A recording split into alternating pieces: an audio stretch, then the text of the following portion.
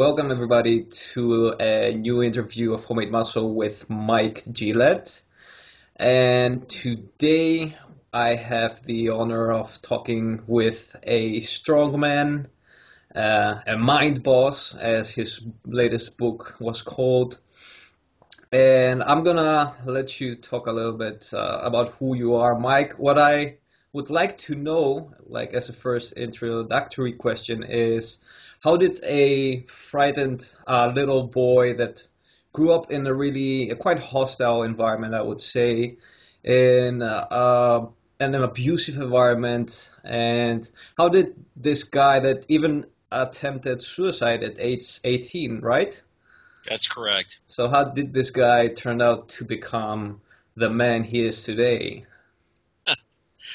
um, I think that uh, fundamental to uh, to anyone uh, being effective in in pursuing something, you know, pursuing something meaningful, uh, requires self belief, and it starts there.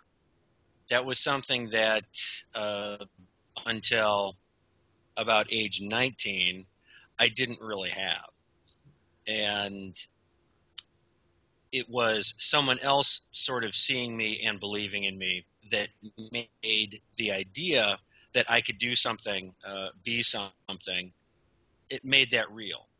And that's really where it started.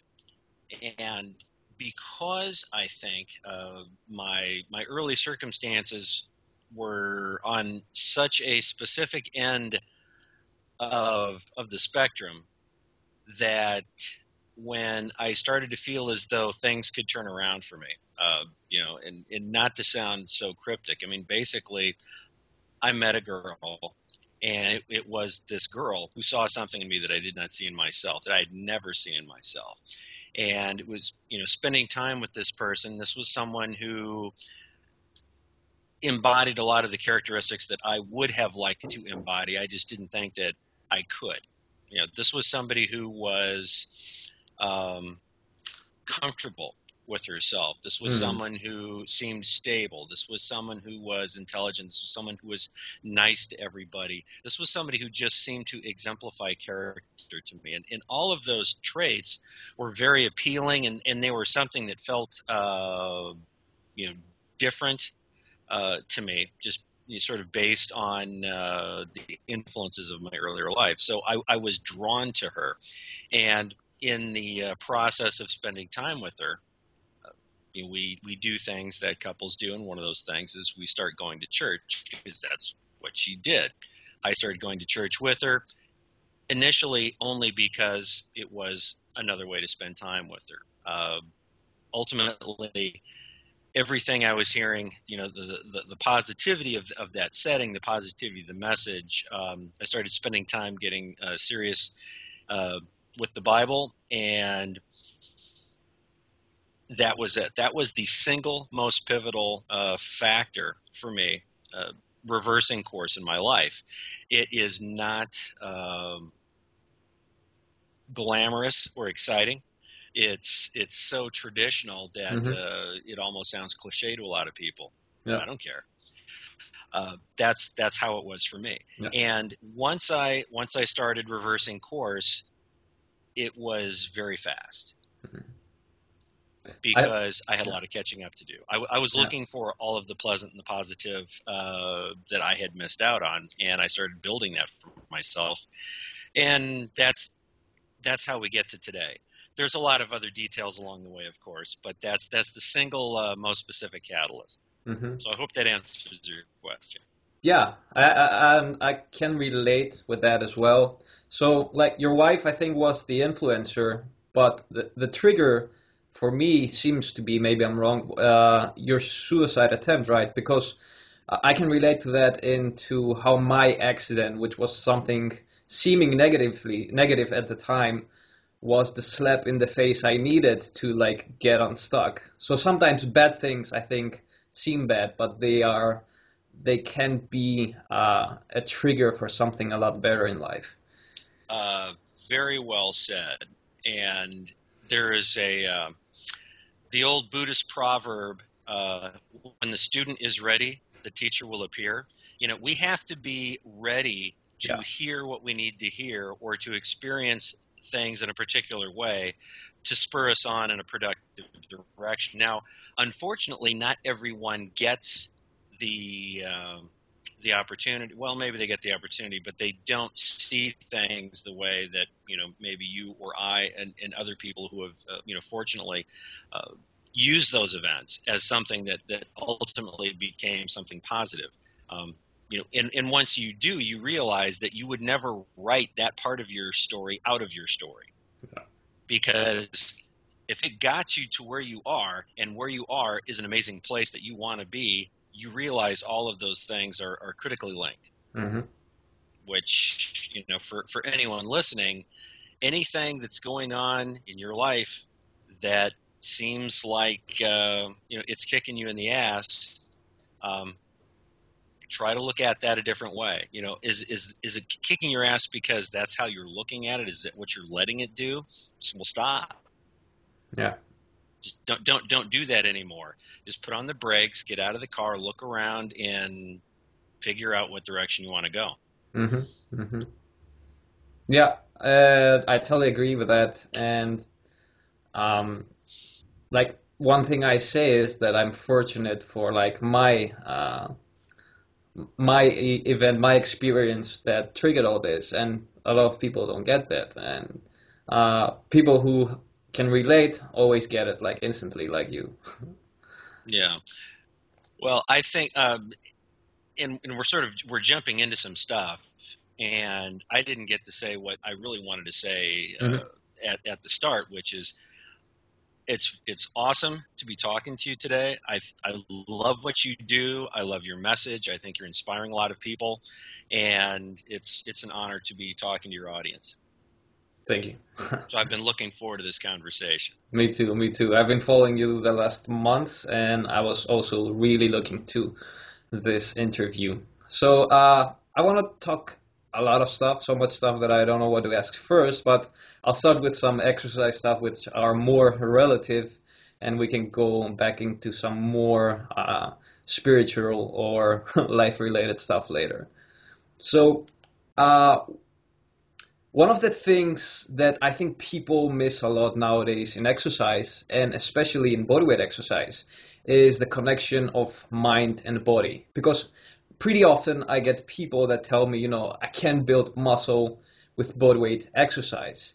And I think the main problem with this is that uh, a lot of people are missing this link. Most people ask, you know, how many reps and how many sets should I do? Nobody really asks, like, you know, what are the internal cues I have to be feeling? What is the intensity I should go through? And for me, that's something sort of easy that that's it comes naturally to me.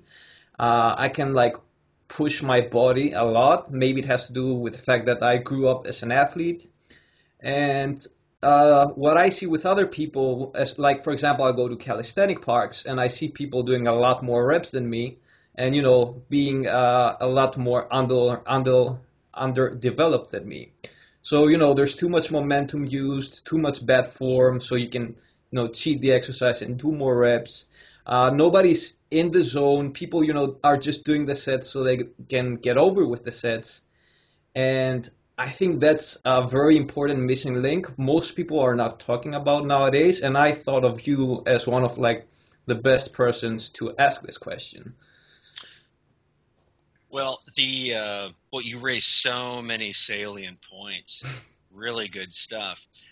Uh, let's start with uh, the mechanics. Uh, to begin with. And I think that there's uh, two uh, aspects, just sort of to, you know to the mechanics, or or sort of if we were to watch the physical execution of what you described.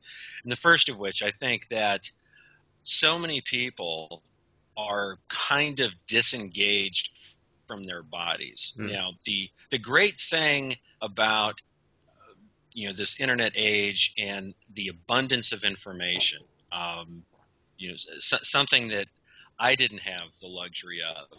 Uh, information was was sorely lacking when, when I was young and starting out. There, there's so much now. So you're getting a lot of people into gyms or uh, into CrossFit box or the calisthenic park. You're getting people out and doing things, which is wonderful. But the the physical base that people you know of my generation would have had just from school, from uh, mm. physical education classes in school. Uh, there was a lot of stuff we used to do that it simply doesn't exist anymore. Yeah. Uh, you know, those things are diminished, and, and of course the when you scale down uh, programs such as that in order to not injure the deconditioned mm. youth, the youth become even more deconditioned. Yeah. Because everybody suffers in that scenario. So the people who are heading out to the uh, to the calisthenics part, you know, we'll just keep it focused on the body weight stuff, as you mentioned. Um, they don't really know what their body feels like when it's working. They don't understand how to control it. It's it's kind of like an awkward partnership they have with it. The, you know, they their brain does not speak to their body with authority. It does not control it. It does not make it what to do. Uh, so the uh, the result is a general disconnect. And in that case, everything just sort of suffers. Uh, uh, you know, form goes out the window because you can't feel when you're wrong. Mm-hmm. And of course, you know, the other thing is if you don't intellectually know what, what's correct or what's not, uh, that's a problem as well. So, you know, people who are, are looking for some body weight expertise might, uh, you know, do well to connect with someone such as yourself who's really good at that sort of thing. And so you know there's the intellectual awareness but then um, you talk about people you know banging out reps and um, i encounter this a lot because i uh, connect frequently with the gymnastics community specifically within the realm of strength training which mm-hmm. is surprising to a lot of people because most people consider well gymnasts goodness aren't they just so strong anyway it's like yeah but when they get stronger, it's just terrifying. You know, when when but the thing that they do is they participate in this uh, multi-directional, multi-velocity uh, sport for years. Mm-hmm. So they, they they get this tremendous base, and everything they do is extremely uh, scrutinized so that uh, they shouldn't be doing things incorrectly. So they, they develop a tremendous amount of, of awareness. But what's um, so often the case is there's you know certain sports have their own dogma and gymnastics is very much uh, that way. Gymnastics is a universe that doesn't talk to anyone else you know within the you know sports uh, development community. Mm-hmm. so they do the same thing over and over. They they bang out reps like nobody's business. Yeah. So you have an athlete that is doing something that is sort of rep centric. It's the same movements over and over and over, drilling them for precision. And then for strength development, strength in quotes, because it's not really developing strength, uh, they do more of the same thing, mm-hmm. just more and more and more reps. Now, yep. we're talking about things that these kids could have been doing since the age of six, seven, eight. So if you're still doing the same thing, is your body adapting? Of course not. All you're doing is making it tired and beating it up. Yeah. So uh, if if you're not varying the stimulus, you know, you uh, use the specific term uh, a moment ago, intensity. You know, if if you're not adjusting that as a variable, uh, adding stress into the into the mix via that variable, you're not doing anything except getting tired. And if you're someone in the calisthenics park that already had bad form and mm-hmm. you're getting tired, now your pre-existing bad form is just you know a terminal condition. Yeah, uh, you're basically building that into uh, your your mental frame of reference. So yeah, the the problem I think is people don't connect with their body, they don't communicate with it, uh, you know, from the brain outwards, and they don't necessarily know the objective. Um, if I do a lot of reps, I understand that. Reps are mathematical. Uh, making a movement difficult, really uh, challenging myself with, with holding the correct position, you know, for perhaps a, a longer duration, uh, adding some type of uh, difficulty via you know angle manipulation adjustments and leverage or external resistance Um, well, that's all unpleasant, so I'm not going to do that. Or I don't really know how, so I'm just going to keep doing what I always do. And that's that's where things can kind of go off the tracks. And mm-hmm. then what happens? We've just been doing endless reps, so we're beating up our joints. Yeah. One of my uh, old stock phrases with gymnasts is I say, look, you are born with a certain amount of repetitions in your body. Mm-hmm. Do you mm-hmm. want to waste those or do you want to spend them wisely? Mm-hmm. You know, you know, guys like you yeah. and guys who train seriously want to spend them wisely. Yeah, yeah, yeah. I mean, I'm just 30 years old and I already feel my, my body becoming more sensitive. Uh, yeah. Which is um, why okay, I'm. Piece of advice: mm-hmm if you're 30 years old and you start talking about how you, your body is feeling more sensitive when you're talking to me, it, it just it makes me want to throw my coffee cup. okay. But, but so continue. uh, so you youngsters. so th- that's one of the reasons like uh, i'm really fascinated by, by what you do because you started the strongman stuff you know like the the the metal bending things and all those uh, crazy world record stuff like at age 47 am i right? Uh, yeah 40 46 47 right. Um, now because there are going to be some obsessives out in your audience uh, as soon as you start talking to somebody who who bends anything they're immediately going to want to know well what what did they bend what was the thickness what type of mm. steel um, I have a lot of friends who are extremely serious benders, mm-hmm. uh, and they're awesome. I love them. Uh, I watch their exploits on YouTube. It's super cool. I'm not that guy. Mm-hmm. I do just a, a, bit of bending, enough to sort of, you know, hang with that community. Mm-hmm. But most of the stuff I do is actually sort of outside of that. Uh, th- they are things that I would much more characterize as uh, mental feats rather than physical. Yeah. You know, because they're either you know they're dangerous or they're scary. Uh, you know, high propensity for injury. Those are the things that uh, interest me the most. Um, and those are the things that uh, yeah, I've, I've, sort of become known for. But it was actually the more traditional feats that I was first exposed to, which kind of brought me into that whole world. Mm-hmm. And yeah, it was at 46, and it was uh, it was a field trip, really. Uh, I took several days to uh, travel to a workshop that was being held by Dennis Rogers, who everybody in the strongman community uh, knows. Uh, he's done so much TV and he's been all over the world and he's done so much to sort of you know further the cause. And then he had some of you know, some high level students of his at this workshop, guys who are you know kind of legendary in their own right. Um, Pat Povilaitis, uh, Chris Rider, Mike Bruce, uh, Logan Christopher was there. Uh, might be a name you know. Mm-hmm. Um, Logan, in a sense, I, I, kind of relate to a bit more, uh, just in the sense of he does feats of strength, but he does a lot of other things as well you know, mm-hmm. and, and that that's kind of his deal. You know, he's sort of uh, all over the place, which is awesome. Um, but there were some really serious, and there were some guys there that no one ever hears about, but they're just they're terrifying. But and that was sort of my entree, and I loved what they do. Um, most of the traditional feats I never do because I'm, I'm, not that interested in them. I'm interested in, in unusual things. But what they do with those feats is what was most compelling to me. And those feats for them are an entree into other worlds.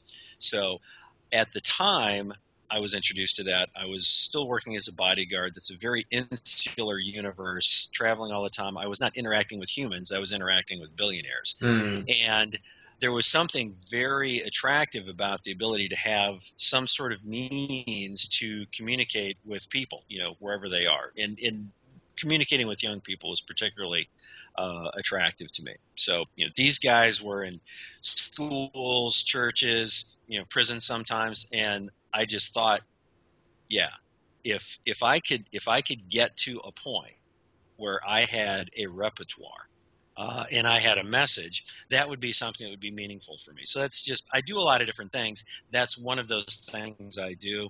Um, uh, I'm not an entertainer some of these guys do shows after shows, and that and that's great, and their their whole you know demeanor and, and background is is conducive to that. That's not me. Yeah. Um, I I do extreme things to basically validate my methods Mm-hmm. You know, if if you write a book called Mind Boss, you know, someone's going to ask you to step up. Yeah. yeah. Well, you know, do you really, you know, have the ability to control your mind? It's like, yeah, I think I do. so, um, and then also when I do get a chance to speak to young people, doing things that terrify them, uh, that's my means of sort of, you know, gaining equity. Yeah. You know, yeah, and, and yeah. then we get to talk about things, and that's just, you know, I. I get so much satisfaction out of doing that, particularly when I get to talk to audiences that are made up of kids like I used to be. Mhm. You know, I did that just a week ago, um, and you know, the, that's that's really what that's all about. So yeah, 46, 47 when when that uh, that stone got rolling. Mhm. But uh, I'm not I'm not one of those guys who's really interested in whatever it means to act your age. I, I do what I want, and I'm going to keep doing what I want for as long as I want. Yeah, I I completely understand that, and I can relate with that. Um, so one of the things you do nowadays is being a mind coach, and could you elaborate further on that? Sure. Um, I think the simplest analogy uh, would be to relate it uh, to to the personal trainer industry. You know, everyone understands what that is, and what is a personal trainer? Well, um it's somebody who meets someone where they're at and assists them with particular goals. Now, physical or personal trainers always working within the physical realm. You know, does somebody want to get in shape? What does that mean? Let's define it. Okay, let's work on a plan. Now, let's execute that plan. Does somebody want to lose weight? Does somebody want to train for a particular activity? Um, mind coach, which is, uh, I don't know if anyone else uh, is using that term. That's just something that I thought would be understandable to people, is really the same thing. Um, and my, my primary interest is uh, you know working with people that either want to you know push themselves farther in a, in a particular direction or solve a particular problem and if I think I can help them solve that problem I'll tell them we'll work on a plan we'll execute the plan so the um, my largest constituency are athletes and it's both athletes in, in group settings and athletes one-on-one with athletes one on one, we're typically uh, trying to solve a problem or multiple problems. There are any number of exceptional athletes. You remember from your, your athletic days, there were always kids who were gifted, Yeah. but yeah. something would seem to get in the way. hmm So we, we need to figure out what those some things are, and then we need to get rid of them and you know, and clear that out. I always tell people, you know, you, you run perfectly provided that you're operating with the right software. hmm Not everybody is running the right software. Sometimes that software is out of date. It's got some bugs in it, so we need to, you know, we need to replace it. Yeah. Yeah. So, um, a lot of people are looking for what's commonly referred to as mental toughness uh, training, and I don't really care for that term so much, but it's so prevalent that that's that's that's the term they use. That's the term I'll use because it's it's sort of ambiguous. What is mental toughness? Yeah. Well, ask ask 20 athletes, you'll get 20 answers. Um, and yet, uh, I, I did several workshops here uh, this past month in Las Vegas with Cirque du Soleil. One of those workshops was entitled "Mental Toughness." Because that, that that's what they want. It's just sort of a, a frame of reference, but it can mean a lot of different I, things. I like that, your definition. yeah. I shared it Uh, yesterday. Can, can you uh, repeat it once and uh, tell us more about your way of uh, perceiving mental toughness? Um, you'll you'll have to give me a little bit more. I say so many things. It's it's difficult for me to keep up with Uh, myself. it, it goes something like um, being mentally tough is not about uh, it's about how you deal basically with bad stuff in life. Oh, Some people see them as opportunities, and you know other people Right, see them as problems. Yeah, it, yeah. It's it's the I, I look at mental toughness in the in the way that uh, what you were just describing uh, was a statement that uh, comes up a lot. You know, the glass is either half full or it's half empty. The mentally tough person sees possibilities. You know, other people see problems. You pointed that out right at the onset of our conversation, very uh, appropriately. You know, with uh, your your situation. You Mhm. know, it's you see it at one way, and then when you start seeing it the other way. You know, in the possibility frame, that's when, when everything starts changing for you, and, and here you are, and you're awesome, and, and you're kicking ass. So, um, how many people don't get there? Many. That's what makes people like you special. Uh, and I thank you, and I know I want as many people to feel special because they're doing special things, and special things or whatever you say is special. You know, do what you want, do it as long as you want. Mm-hmm. Yeah. The, the other thing that uh, I say about toughness is it is a lifestyle choice. Mm. Anyone can be it. Mm-hmm. You choose toughness, and then you keep choosing it. Yeah. Yeah. Yeah. It's easy to choose it this week, and then next week, ask screw it. Yeah. Yeah. It's a lifestyle. Yeah, and and that I mean, so ultimately, what we're talking about is just discipline. yeah. Yeah. making yourself do what you know you need to do. Because even if you're pursuing an amazing, fun goal, not every aspect of it will be amazing or fun feeling. Of course, of course. Like and uh, so basically, you help people define their goals and show them how to achieve them. Uh, I think that the reason that people fail a lot to attain their goals can, like for an example, it's about like you see the same thing in exercise. Uh, as I said before, you know, it's the lack of focus. Uh, uh, an even more important factor is the lack of passion and you know like not going all in. People like do uh, half-hearted attempts to do something and you know they they're always keeping back and they're always looking for that like secret you know supplement or method or when the, the funny thing is that if they spend that same time they're spending looking for that secret method and uh, supplement or whatever uh, the biggest part of their goals would be attained. And I know that because I did that when I was young. And, you know, now what I see is that as I uh, become more uh, wise or experienced, uh, that, you know, it's about basically mastering the basics, like the 85% of it at least. Right, right. Yes. So, so, so many uh, good nuggets of truth in, in what you just said. I don't know if this is the case uh, in your country, but here in the United States, we have a very interesting phenomenon, uh, which is we have so many commercial gyms, so, so many. And when uh, people meet me, um, I guess they sort of feel obligated to talk about certain things. One of those might be fitness, you know, and, and uh, most Americans are self conscious about their fitness or their lack of fitness. Um, but they'll say, Hey, gosh, Mike, where do you work out? And, uh, and they'll say, I, I belong to such and such gym. And it's obvious that they have not been to such and such gym, Mm. whatever, uh, for quite a while. Um, but so many. Oh yeah, yeah. I, I I go to the Y. I go to this place. I go, or I'm I'm a member of. I'm a member of, and you know, no, I don't say. Well, gosh, maybe you should actually go, um, because that would be uh, indelicate. But it's the idea. You know, we join the gym. Okay, good. Got my gym membership. now my life goes on as usual. But what's interesting though is that there there's the other part to that which is there are people, rare, that actually go to these gyms. And they've been going to these gyms for a long time. And Mhm. yet you wouldn't know to look at them.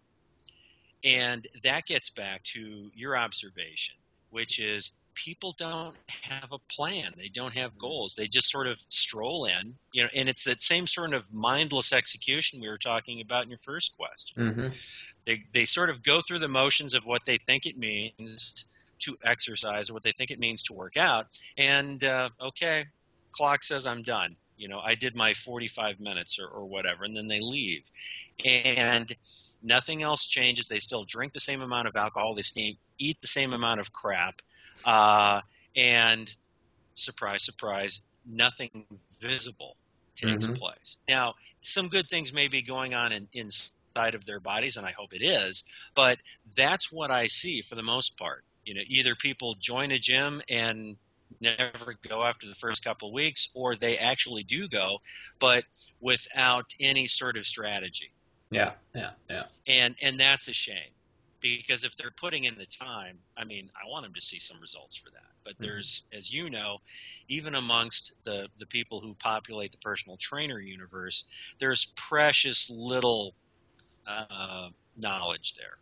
Yeah. You know, ev- everybody is getting rubber stamped with the same information. The information is was outdated 30 years ago. It's which means it's still outdated today. hmm And all of that is kind of shocking because the information's out there. I mean, everything you ever needed to know Mhm. about getting faster, stronger, leaner, you know, bulkier, whatever it is that you want to do, it's out there hmm and uh, from multiple knowledgeable sources, but people still don't seem to uh, connect effectively Yeah. with that information, and not a lot changes. Yeah, true. And like, I, I like exercise because you know basically everything in exercise transfers in life in general. Like, and all this you know applies to not not even not only exercise and diet, but also you know uh, business success and basically conquering any kind of goal. And like one of the reason I like uh, I liked your stuff. Uh, first time I found you through your book uh, Rings of Power was it the title? Uh, That's it. and yeah, like I really liked it. And one of the things I liked was that there was like no fluff, like no extra bullshit, you know, just to make the book bigger or, you know, I don't know, fancier or more marketing um, um, efficient. so uh, I think it is like sort of a blessing that we live in this day and age because we have all this information. But like you know, um, the advantage is that the, the disadvantage of all this is that you know there's also so much distraction out there. So it's really difficult like to separate uh, you know the what is truly valuable in terms of knowledge and everything and what is like just bullshit and marketing and you know fluff.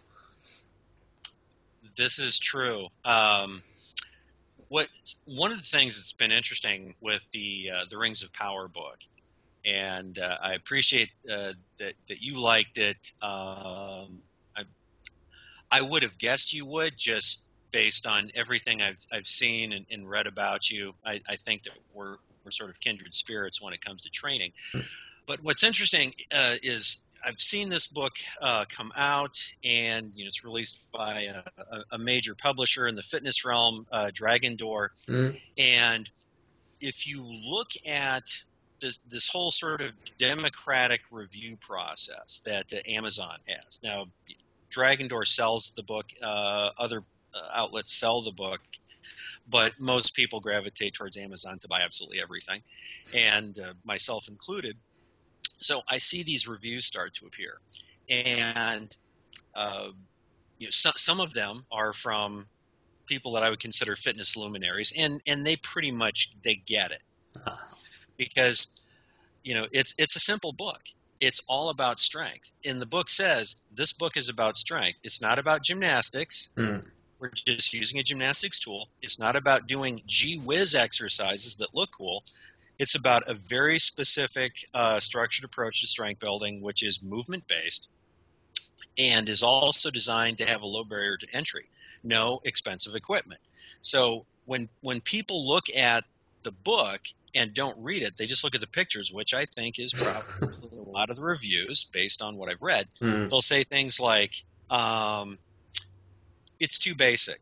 Yeah. Okay. Um, yeah, I just I say right in the beginning, this book is basic, Mhm. but that becomes that becomes a point. And then other people say, I've seen all these exercises before, which Mhm. means you haven't read the chapter on the progressive resistance trainer, which is the bar accessory, which no one has ever brought to the marketplace before, and it's basically that that additional uh, destabilization bar that you suspend your rings from. Mhm. Uh, so you haven't seen it before because it's never existed until this point. Yeah. Or uh, those exercises are too easy. I don't even know where to go with that because anybody who's writing that isn't able to do what's in that book. Um, so the the thing is that you know that I, I guess I continue to relearn these things is you can lead the horse to water. You Yeah. know, here's a book. It's like it's got pictures, lots of pictures. Just do this. And some people would still rather complain about how it's not a gymnastics book. Not that they would ever do gymnastics, because golly, that's hard. Mm-hmm. But they just they just want to beat up this book Yeah. rather than actually do the work. Mhm. And they'll and the the next book will come out, and they'll beat up that book and the next one. And what they're doing in the meantime, while they're you know writing you know scathing ultra hipster uh, cynical reviews on Amazon, is they're not working out. yeah. I mean, just Um, reaching, just conquering the basics and doing 12 reps with perfect form in all the basics is, for me, in my opinion, something that takes at least three years of focused work. Yet, uh, I don't think anybody does that. Like 90% of people don't do it because if you would do it, uh, physically you would look uh, for like me. Because, for example, I've been training three years. I was five years inactive, and all I'm doing is still uh, thriving to master the basics. I do a few more uh, fancy stuff, but is mastering those basics is what uh, gives me more strength on a daily basis. And I'm st- I'm still like I still haven't mastered the basics in all exercises with perfect form and you know perfect mind to muscle connection and intensity. uh, I, I think that's that's one of the keys is that um, we're such a uh, a stimulus focused uh, culture. You know, you, you mentioned all of the distractions a moment ago, and that that's that's one part of the problem. And and one way that it manifests is we get bored so Mhm. easily. Nobody has the patience to perfect anything. And the irony is that, um, and I've I've sort of lived through this in several iterations of my professional development. When I was known more as a uh, tactical trainer, uh, when people would find out who some of the elite personnel that I had trained, they would say, "Oh, show me that stuff." Like like there's this special box yeah. where we keep all of the commando fighting techniques. hmm And it's right next to the box where you have the everyday fighting techniques for everyday people. You Yeah. know, everybody wants the secret sauce. And so it goes with physical training. What exercises do you teach to the commandos? Well, we Mhm. just want to do commando exercises. You know, and the elite of anything are simply people who do the basics, the essentials, superbly well. Yeah. You know, and and they have no problem continuing to master those things. You know, the elite powerlifters, what what do they do? In their spare time, they go to workshops on squatting and deadlifting. Well, they've been doing it competitively for years, but yeah, on the chance that they may learn one more Mhm. thing, they're still drilling down. An elite gymnast does the same stuff that well, uh, much of the same stuff as the ten year old. Yeah. They just do it so much better, and they just drill it incessantly, and Mhm. everything is, as you say, it's perfect. It's technically correct, and if you don't have the discipline to get yourself to that point, you know, what's the difference between the scale practiced by the five year old piano student and the 25 year old virtuoso? Yeah, the, you know, A flat is still A flat. Those scales and arpeggios are the same, they don't change. hmm You know, it's just how connected are you with your instrument? How connected are you with your body? And what is the quality of the sound that you're creating? How much control of that sound do you have? Well, it's the same thing in athletics. How much control over all of the variables are you able to summon by virtue of your incessant commitment to mastery? Yeah.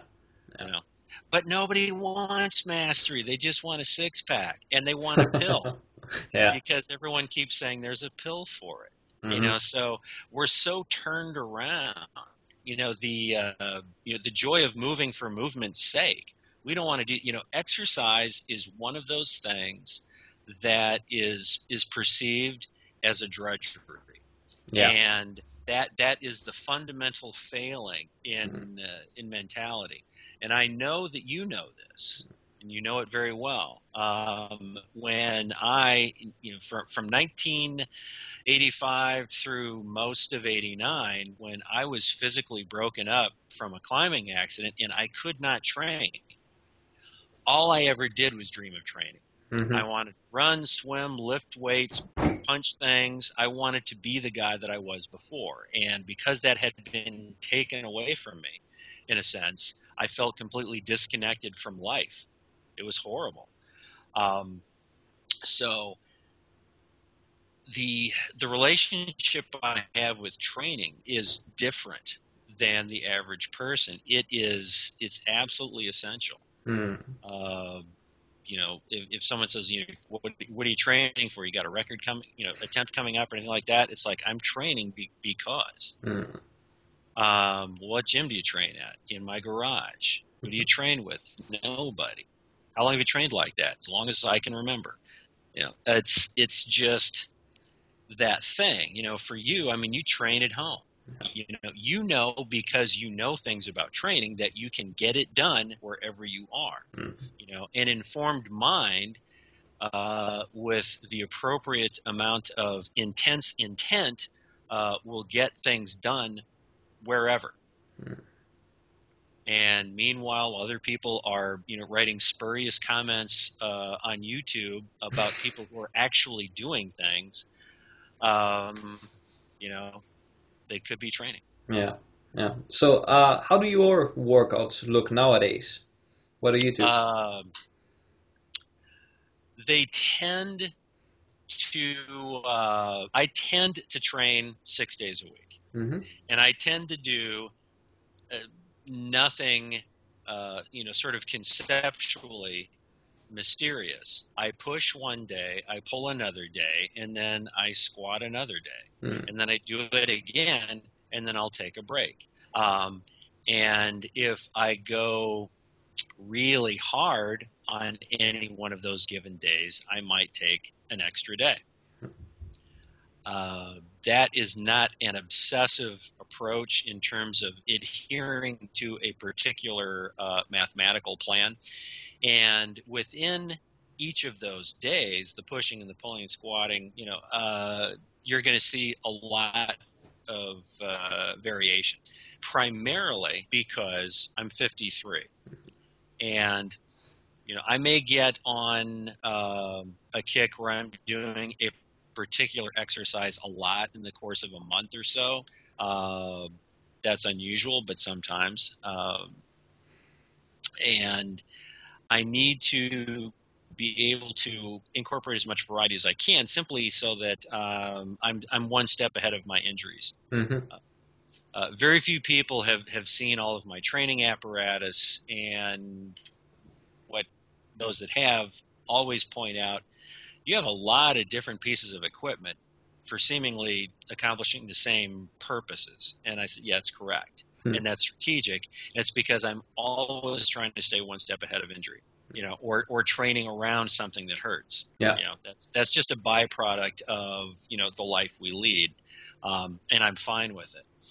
So uh, that's basically it. Now the um, I may be doing conventional lifts one week. I may be doing a lot more suspension based training.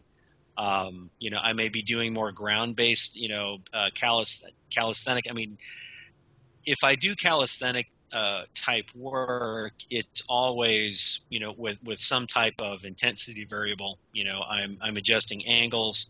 Uh, I'm manipulating range of motion. I'm adding external resistance, and I'm usually adding resistance most of the time because lots and lots of reps don't agree with me.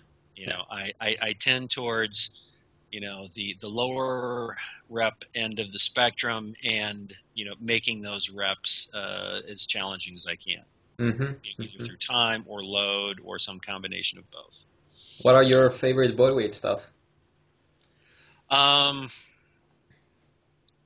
you know, I I just I don't really bond with exercises in that way. Mm-hmm. Um, and and one of the reasons why is I found when I was younger I, I would refer to I really like doing X, I really don't like doing Y. Mm-hmm. So I would start not doing the exercises I didn't like. Now, Yeah. um, you know, just like everyone else, what exercises don't we like? The ones that aren't as easy. Mm-hmm. And which ones should we be emphasizing? The ones that aren't as easy. Yeah, that's a great. So point. yeah, so uh, I mean, really, my attitudes about those exercises haven't changed. It's just kind of the way that I choose to identify them and sort of, you know, psychologically engage with them. Um, if it if it hurts, it's not my favorite. If Mhm. it feels good, it's my new favorite. So, um, one of the things that uh, I've I've picked up lately uh, uh, is a pair of handles that um, tip back and forth, swivel around their point of attachment. The, the Mm. handles themselves rotate, and um, they they add a whole new level of challenge to ring Hmm. because if you're sitting on top of them, if you're above the rings, so to speak, they, they want to uh, rock back and forth. Okay, sounds pretty cool. And so, yeah, you know, you add something like that to the to the PRT, which Dragon Door is probably going to have on the market, hopefully in, in another month or two. Um, which is that that bar use. The bar in the book was actually a prototype. Uh, the finished product is is uh, quite an attractive little piece. It's much more lightweight, so it can you know go in a gym bag with your set of rings. Um, when you start combining things like that, one of the the great things that happens is the um, sort of the, the physics force you to fix yourself in terms of form. Mm. If you're sloppy, you'll pay for it because you'll get thrown one side or the other, and that's you know it, it, it's humbling. So the uh, the tighter, uh, the more control, uh, you're rewarded with a more stable platform. And if you it, if you try to uh, use a little bit of momentum, uh, you will be punished Yeah, sounds because cool. the the apparatus will take care of the discipline for you. Interesting. I'm gonna check that out. Maybe also add it later on the screen right Yeah, it's it's fun. It'll be um, it'll probably be less dramatic for you, now. Hmm. uh, just because you've developed so much control. It's uh, but for people who really sort of struggle, even with um, you know like a TRX, Mm-hmm. that sort of thing, you can use them. Uh, in fact, uh, one of the uh, you know sort of the uh, the horizontal body row uh, Mhm. example from from the Ring book, um, that is uh, a great challenge for a great many people for a long time. Nice. Just sort of you know uh, av- avoiding the you know the lateral tipping um, of that and you know all good training is core training there's a lot of uh, core activity that, that occurs when you're doing all of those uh, movements correctly Mm-hmm. Okay, awesome. Um, what do you do diet-wise? Uh, how do you eat? Do you do Um, any kind of fasting diets, or what works best with you? nothing really that complicated i was um, i was introduced to um, you know sort of the, the ketogenic concept in 95 Mm-hmm. and uh, that was through a book written by uh, Mauro Di Pasquale, a Canadian uh, MD who was also a competitive powerlifter. And he wrote a book that uh, really sort of spelled out the science behind that type of approach. Um, I'm from the United States, I'm from Middle America. We like our carbs Hmm. A lot Yeah. and uh, I'm also of that generation that you know in the 90s, you know, carbs were hailed as as the thing. Mm-hmm. I mean, I remember looking at ads in Muscle and Fitness magazine from a particular company that uh, was cautioning you against not getting enough carbs, Mm-hmm. and they had a supplement called Carboplex so you so you could suitably you know jack up your carb intake yeah, which is hilarious it is to indeed. think about uh, but nonetheless that's where we were and and the ad spoke of uh, the problem you're probably getting too much protein but not enough carbs you know Mm. and what's hilarious is nobody gets enough protein. They have no idea Yeah. yeah. uh, how much protein uh, is really appropriate. There, there, there's kind of a protein bias in the United States uh, compared to other countries. You know, countries where they, they put a lot of time studying uh, nutrition.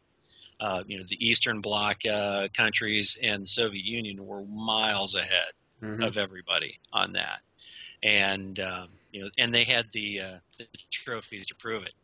Mm. So um, that was sort of my, my introduction to that concept, and I typically follow to this day um, a you know a high protein, you know moderate carb. Um, I try not you know white flour and sugar. I, I try not to eat. Mhm. Uh, that that that's more uh, for special occasions. Uh, I don't drink any you know things like soda pop or the you know god awful sports drinks yeah. uh, anything like that.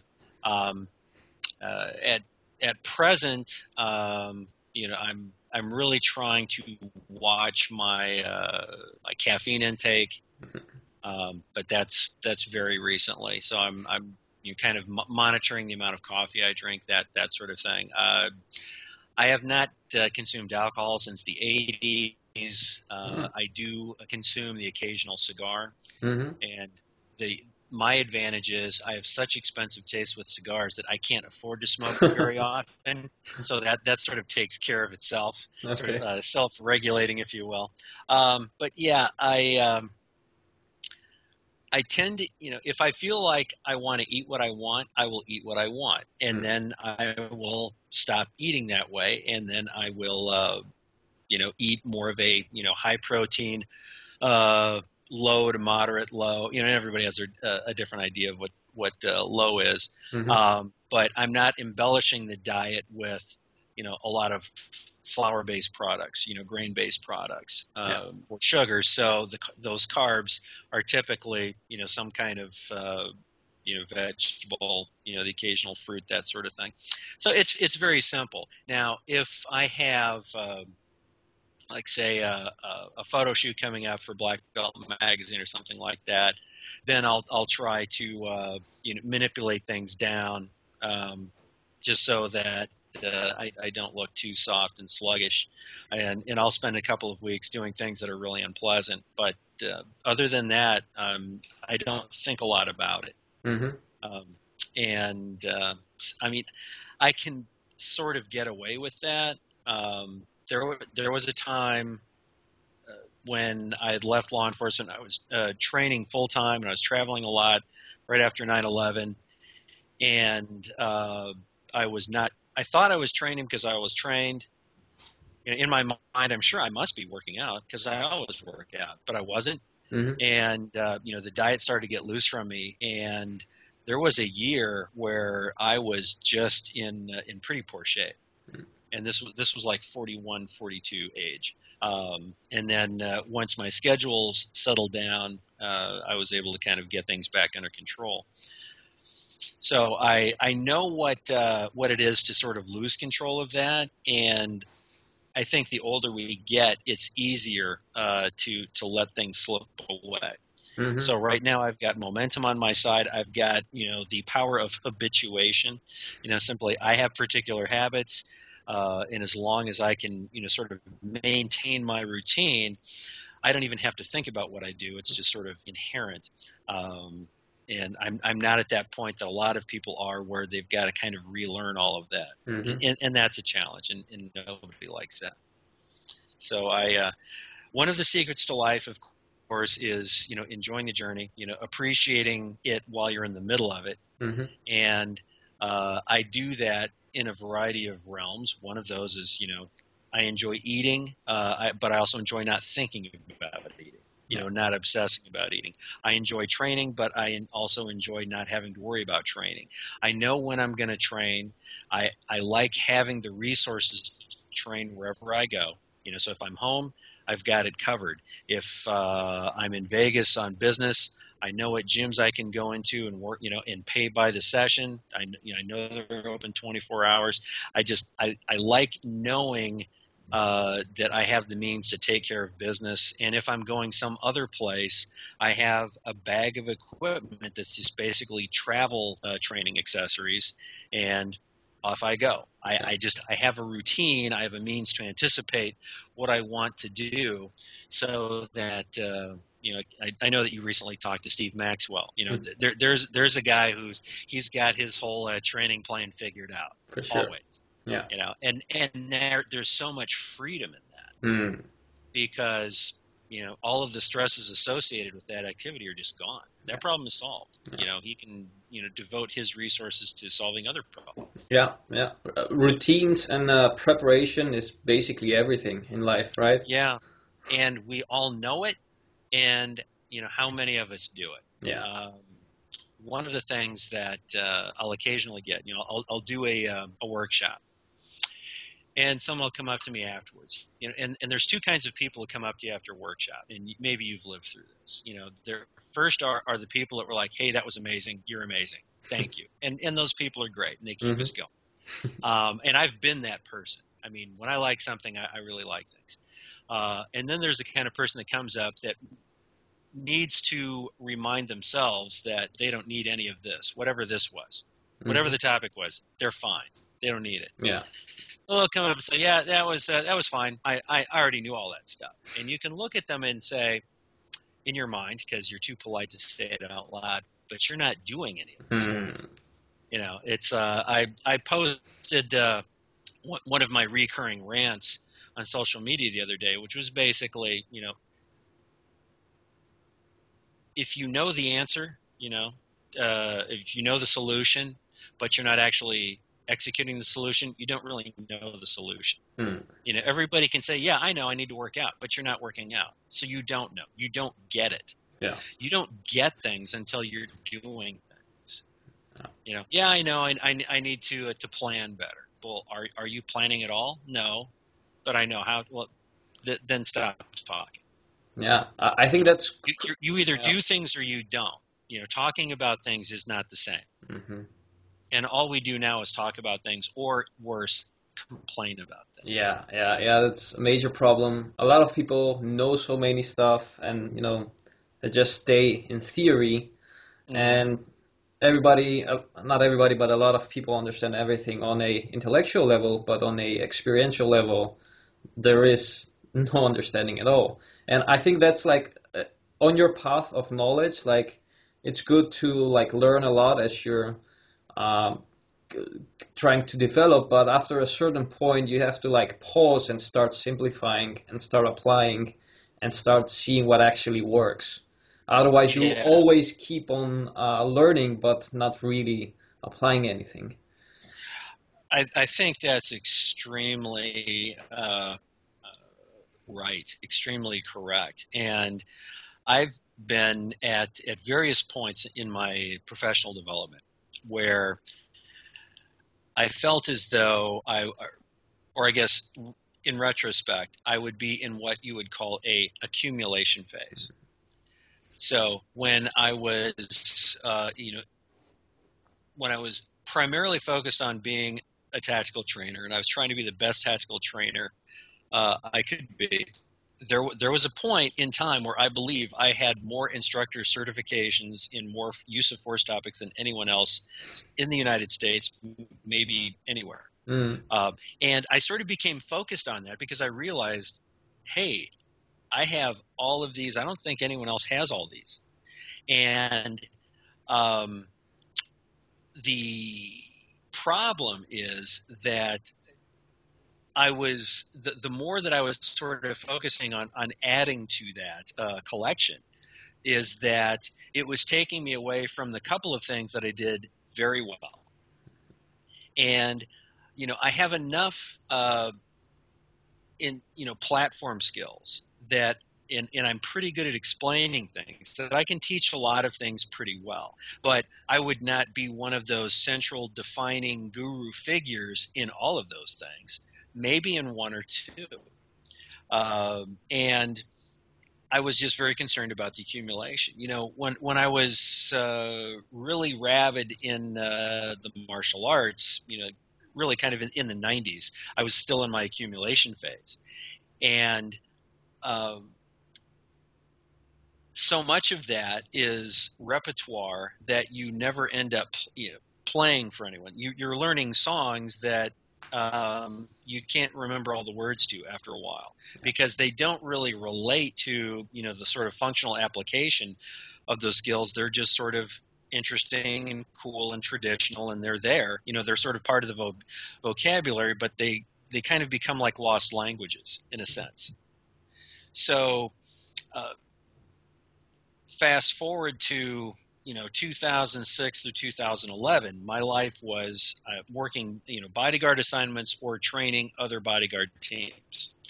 And when it came to the you know the, the hand-to-hand skills i was training a fraction of a fraction of a fraction of what i had accumulated mm-hmm. you know everything was sort of distilled down to these very elemental basics and they were very good elemental basics and it sort of dawned on me at that point even though I intellectually understood all of those things that Bruce Lee used to say about, you know, it's not about accumulating techniques. It's like, yeah, yeah, fine, don't bother me. I'm too busy accumulating techniques. Yeah. You know, I sort of I had to kind of, you know, come through that process my own on my own and and live it. And then at the end of it, um, I, I, developed kind of a, a very detached relationship to martial arts in general because at the end of the day, I had, you know, yes, I had spent my military time, my law enforcement time, and now here I was in this this really unusual uh, role, you know, uh, the bodyguard, if you will. Uh, bodyguards hate that term, but that's you know, it's like mental toughness. That's the vocabulary of, of, of what's most common. Mm-hmm the um, you know in, in a bodyguard scenario there's only a couple of options you're ever going to have. There's only a few things you're ever really going to do none of which are particularly pleasant. Mm-hmm. you know they're they're not martial arty. They don't look pretty. You don't look cool doing them and uh, people will get hurt very badly. Mm-hmm. Um, and when you start living at that end of the spectrum, all of the other stuff just sort of becomes, well, that was interesting. Uh, it got me here, but I'm not, I, I relate to the topic differently now. Uh, so, uh, all of the martial arts for martial arts sake stuff that was important to me once upon a time just kind of uh, dissipated in terms of its significance. I still love it. I'm a I'm a big fan of all that. I have so many friends that are very high level and and and do amazing things, and they're wonderful, and I appreciate all that. Just like I appreciate many of my friends who do the more traditional feats of strength. I don't do it. I love it. I'm a huge fan of it. I express myself in a slightly different way. Mm-hmm. Um, so the uh, distilling things back down to what is necessary. You know, you know, when I tell people to do that, I'm not just not saying it to say it. I've been the guy. I've been so many of the examples of the less effective, the less efficient, uh, the more confused uh, student, the more mm-hmm. confused pupil. I've I've been that person in a variety of realms. So I'm not talking down to anyone. I'm like an older brother, just saying, "Hey, trust me. I've been there. there there's there's a, a, a more effective way to get to where you want to be." Yeah and you know I've, I've, I've got all the bumps and bruises to, to prove it. Yeah, those are great points. Uh, another thing I wanted to ask you is you mentioned before that you haven't drank any alcohol since uh, the 90s or 80s. 80s. 80s. Uh, yeah. You you yeah, also like went. Like I said earlier on, when I turned around, I turned around hard. Mm. You also went through some uh, addiction with substances, right? At some point. Um, you know, well, yeah, when when I was a, a youth, uh, up up through uh, up to the point I started going to church, yeah, I I was uh, drinking insanely, and I was using all manner of, of drugs at that time. When I stopped, you know, I stopped. Mm. So was I an addict? Uh, I don't know because there's like all of these technical definitions. Mm-hmm. I mean, if I was an addict, I would have needed some sort of elaborate, you know, rehabilitation protocol. Well, I didn't have that. Mm-hmm. I just decided to not do it anymore. Yeah. And you know, I, I know there's people that struggle with that, and they're you know they've got pre-existing you know issues with how their brain is wired, and it's very hard for them to stop doing that. I was very lucky. Mm-hmm. Um, I've I've been very lucky many many times. That's merely one of those. But yeah, um, the and and for me, alcohol sort of was was also synonymous with that previous life. Mm. So and alcohol was something that made me feel out of control. And there were times when I wanted to feel numb and out of control when I was very young and in distress, and, and alcohol and drugs served that purpose very effectively. Uh, they were not helpful, but they accomplished you know that very short term goal. So yeah, th- things that I mentally associate with that particular time, uh, I do not participate in. Mm-hmm. Great, great. Uh, which uh, which makes people stressed out to hang out with me at parties. because they always think I'm watching. It's like, look, I don't care what you do. I, you know, I only care what I do. Yeah, yeah, pretty good. Well said. Um, so I think we have some amazing content. Uh, like I think if people like this content as much as I do, that will be a huge success. I would like to ask you three questions before okay. uh, we stop, unless you also have some stuff you want to add. Uh, question number one is what would you be your best tip on exercise? And maybe if you would like to give a good tip on integrating mind and body, which is the problem we were referring to earlier.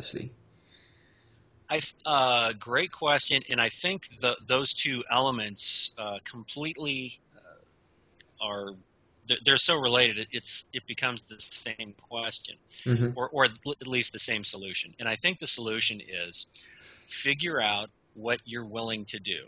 You know, or you know, you know, figure out what options seem productive. Mm-hmm. You know, because mm-hmm. there there's some silly options out there. There's some very uh, you know time intensive options out there. But of, of the things out there that work, you know, like let let's say that a, a person is uh, contemplating uh, joining a gym or joining a running club or uh, training at home via some calisthenics book or video that they just got or are considering getting. Okay, so there's three different scenarios. Well, what is the what is the one of those that seems the most attractive to you? That seems the most fun?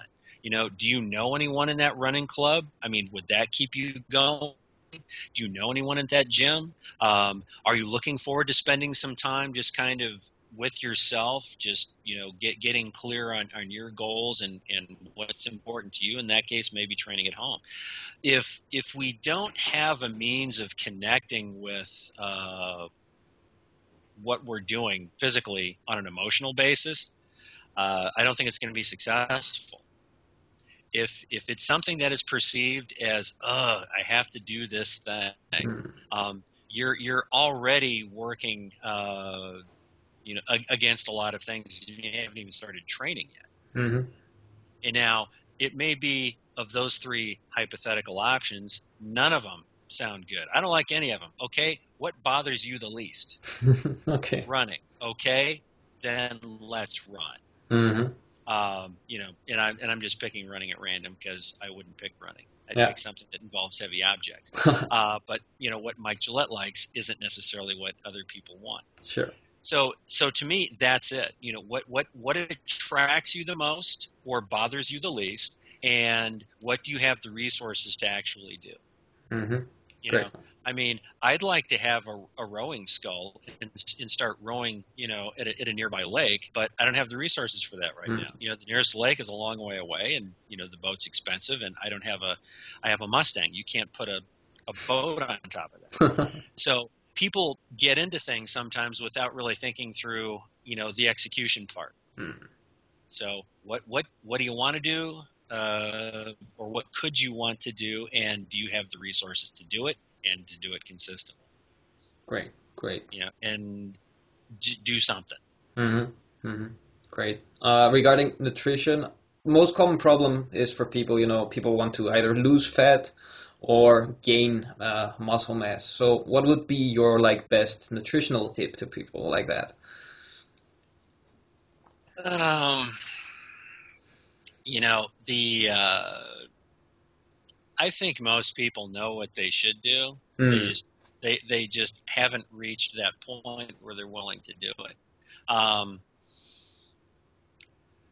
I think that uh, you know he, here in here in the United States, uh, people just need to eat more real food.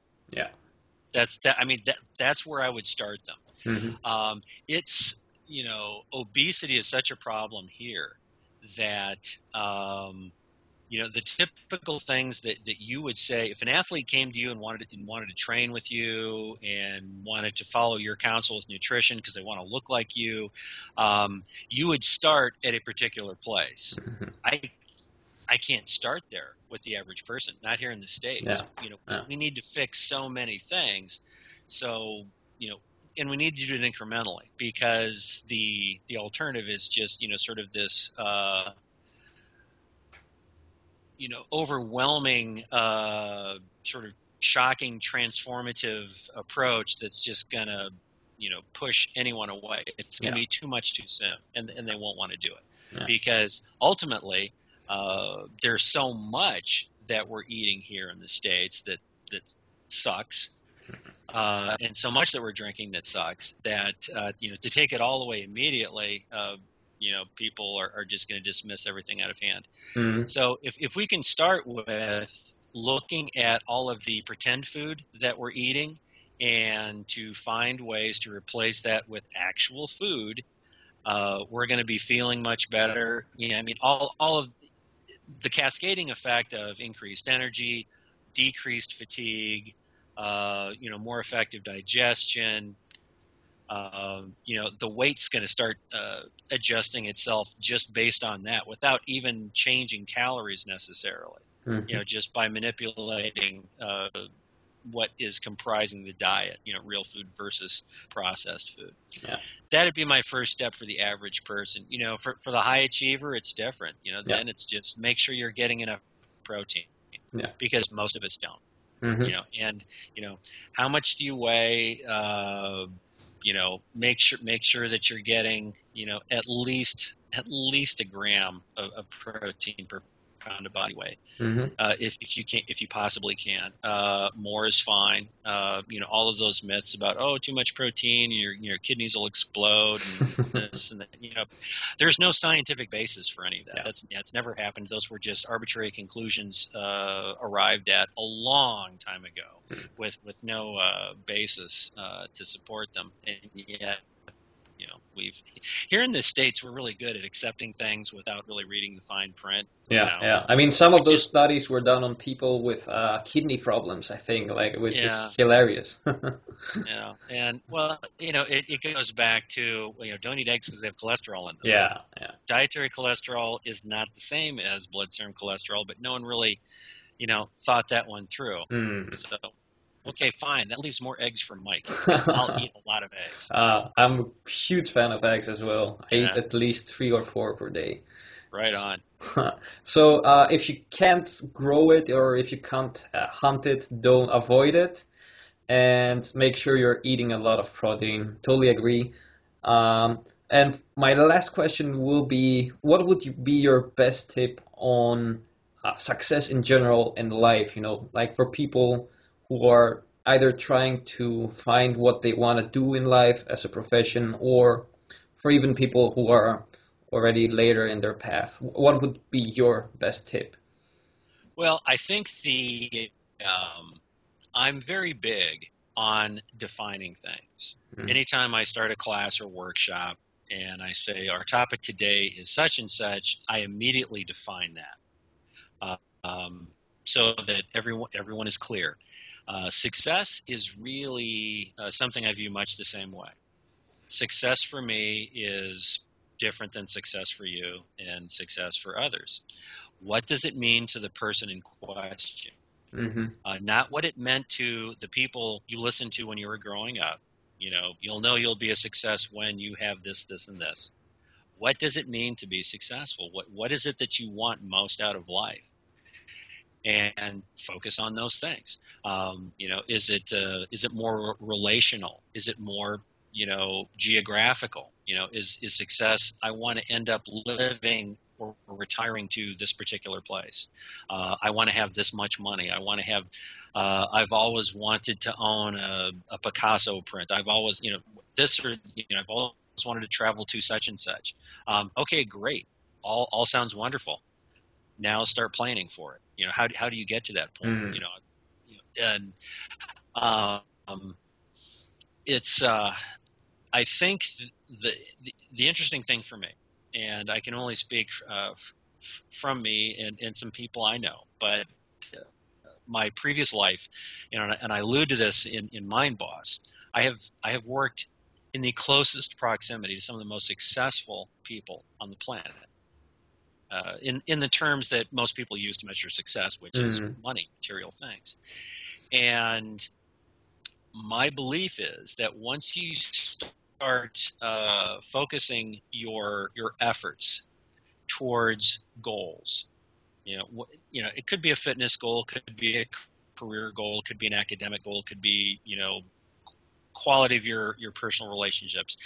Anytime you start becoming strategic in one area, there is a carryover effect you start to become more efficient in other areas. Yeah. It's one of the reasons that really high achievers tend to be really high achievers across the board. Mm-hmm. Um, you know, people that uh, can do one thing particularly well often have several other things they do at a higher than average level just because they understand that excellence is as much a process as anything else. Mm-hmm. So my success tip is define it, define success. And and once you know what success is, you're going to see a couple pieces that you probably need to uh, pursue. Well, make a plan for pursuing any or all of those things, and experience the carryover that is sort of inherent in that process. Yeah. If no other reason, um, if I'm moving strategically forward towards my fitness goal. Okay, how does that change the way that I look at myself? And if I'm changing the way that I look at myself, how is that changing the way that I look at the world? And how does the way that I look at the world now impact the way that I relate to other people? Well, all of those things are improving. So it kind of becomes this uh, ever enlarging uh, spiral that that touches all of these different aspects of our life. So even if mechanically things aren't changing in every aspect of our life, every other aspect, those other aspects feel as though they are because we have this completely different lens through which we're looking at life. Mm-hmm. So, uh, you know, when people say attitude is everything, it really is. And, you know, progress in one area changes you, and that change changes your attitude. And as your attitude, uh, we'll say, improves, uh, or becomes more positive in it, its focus, then other things not only are improved, other things also seem more possible. When you feel crappy, it doesn't. You don't feel like you can get things done. Yeah. When you feel amazing, you start feeling like, yeah, I think I can do stuff. Mm-hmm. Mm-hmm. It's that simple. Yeah. Yeah. And the the hard part is living it. Yeah. Is true. making. You know, uh, there's truth, and then there's living the truth, making that truth real, and mm-hmm. that's that's where most of us fall down. Yeah, yeah. Another thing I liked in Mindboss is that uh, writing stuff on paper makes them real. You say, which is a thing I'm a huge fan as well. Thoughts are abstract. R- writing things down makes thoughts real. Yeah, yeah. It's, and that's that's true. That's an awesome quote. Yeah. Okay. Uh, thank you for this really awesome interview. Uh, maybe we'll my pleasure. We'll do one again in the future. I'm sure I'm going to have new questions for you at some point. Wonderful. So uh, thank you so much, and keep doing what you're doing. Where, where can uh, where can people find more about you? Uh, you can find plenty about me at mikegillette.com. That's uh, sort of my uh, my hub. There's free content there and uh, links to all of my my social media. Um, you can find Mind Boss on Amazon or BarnesandNoble.com. Mm-hmm. Uh, some of my other programs are available through Critical Bench, uh, the Seven Strength Training Program being one of those, Strength Psychology, which you can also find at strengthpsychology.com. That's more of a video presentation of much of the same concepts that are in the book Mind Boss. Mm-hmm. Uh, I know a lot of strength guys. I know a lot of them don't like to read, so we, you know, there's there's different ways that they can get that information. You know, people like to read. Mind Boss is uh, is easy, and uh, for those that like to to listen and, and watch and rewind, uh, then strengthpsychology.com is is a great way to get get that same kind of information. Start putting it to to work. Okay, awesome. Thank you, and uh, have a great rest of your day. Uh, thank you. All the best to you.